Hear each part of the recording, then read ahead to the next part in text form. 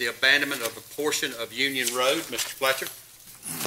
Yes, sir. What you have before you is the first initial determination of a section of Union Road uh, that is uh, to be abandoned as a result of the realignment of exit 29. Uh, This portion of uh, Union Road uh, is is really uh, a dead-end section now and and is serving no purpose.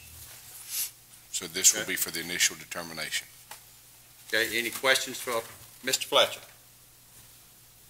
Okay, hearing none, I'll entertain a motion which in- would, in- should include the termination.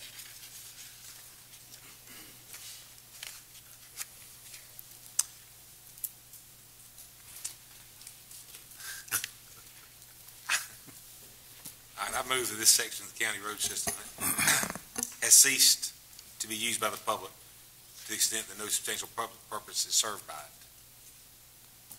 Could we have a motion that this portion, of this section of county road system has for, uh, reason, for any reason has been ceased to be used by the public to the extent that no substantial public purpose is served? Yes. Do we have a second? Second. Okay, any discussion? Hearing none, we'll call the vote. All in favor signify by aye. Aye. Okay. Any opposed, like sign. Hearing none, the motion carries. Again, this is just a determination, and then at our next meeting, we'll have the public hearing on actually closing the road.